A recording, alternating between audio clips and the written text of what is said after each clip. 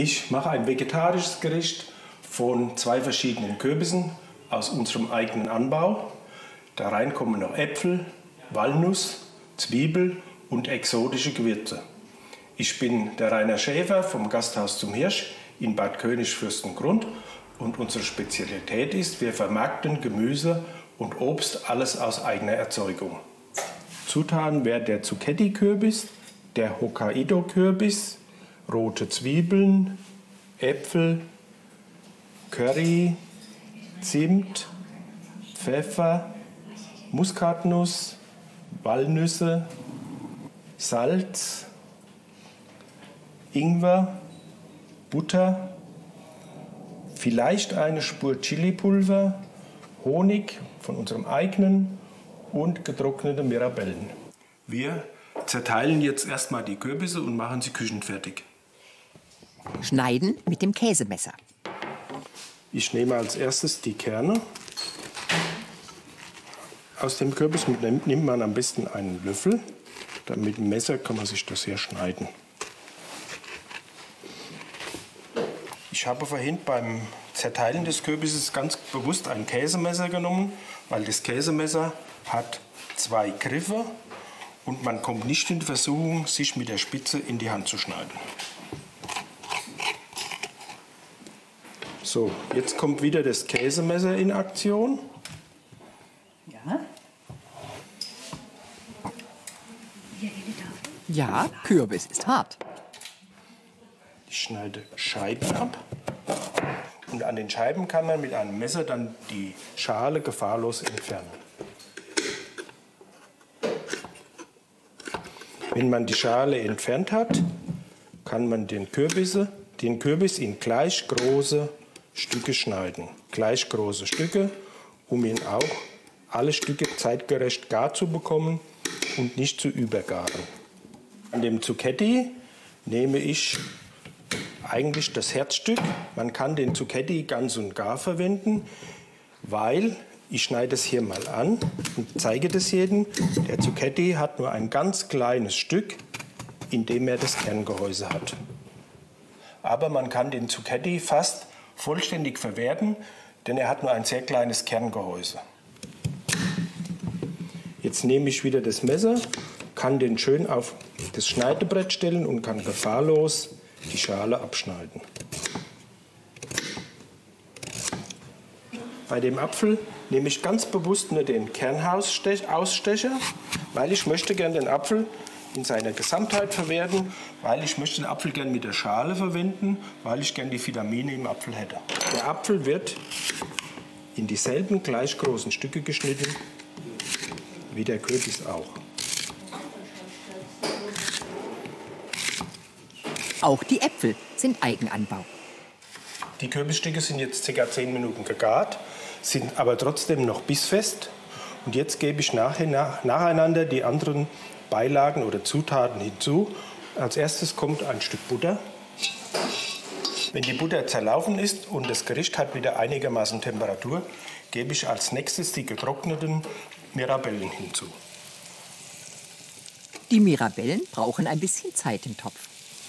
Die Mirabellen gebe ich als erstes hinzu, damit sie noch Chance haben, etwas aufzuquellen und ihr Aroma zu entfalten. Im nächsten Schritt kommen dann, um dem Gericht noch eine gewisse Farbe zu geben, ein paar rote Zwiebeln dazu.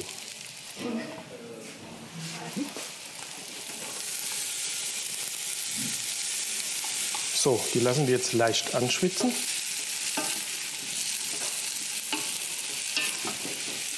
Im weiteren nächsten Schritt kommen die Äpfel mit der Schale hinzu. Obst und Gemüse, wie gesagt, fast alles Eigenanbau. Jetzt kommen nach und nach die Gewürze hinzu. An erster Stelle kommt das Salz.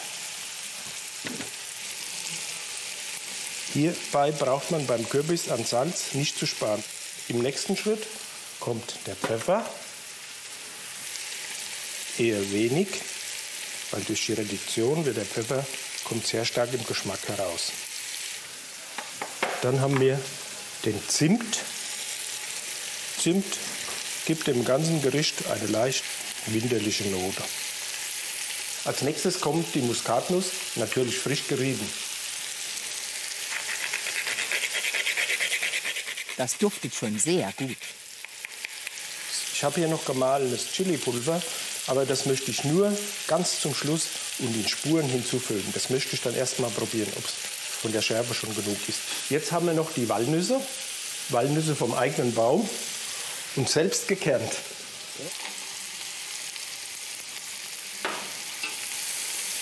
Und man hört, das Gericht karamellisiert ganz leicht vor sich hin.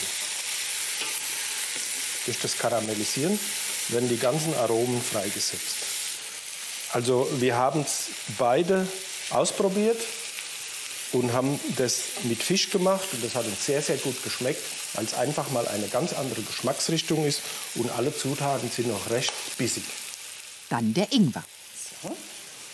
Den Ingwer aber auch nur in Spuren, weil der Ingwer ist scharf, hat nicht nur Aroma. Den Ingwer fein reiben. Vorsicht, Finger. Und zum Schluss kommt der Honig von unseren eigenen Bienen dazu. Die Bienenstöcke stehen beim Hirsch in Fürstengrund draußen im Garten. Und den eigenen Honig kann man hier auch kaufen. Der Honig gibt dem ganzen Gericht nochmal eine süß-säuerliche Schärfe, eine Zuckerschärfe. Und das schmeckt man auch. Eine süß-säuerliche Schärfe. So, das Gericht ist jetzt eigentlich fertig, ist vollkommen vegetarisch, aber ich lege jetzt mit der Resthitze, das ist noch sehr heiß, einfach zwei Stücke Bodenwälder Lachsforellenfilet drauf und lasse die auf dem Gericht garen. Nun noch der Deckel. Um die in der Resthitze zu garen, lege ich jetzt den Deckel auf und nimm den Topf vom Feuer. Die fünf Minuten sind jetzt um und jetzt können wir die schon gegarte Lachsforelle auf dem exotischen Kürbisgemüse rausnehmen. Mm, das duftet wirklich gut und ist ein gesundes, feines Wintergericht, das man mit Fisch oder auch rein vegetarisch genießen kann. Den Kollegen der Odenwald Gasthäuser gefällt's und schmeckt's. Den Kürbis baut Familie Schäfer natürlich auch selbst an. Ihre Marke heißt vom eigenen. Und hier sieht man noch einmal alle die Wirtsfamilien, die sich zusammengeschlossen haben.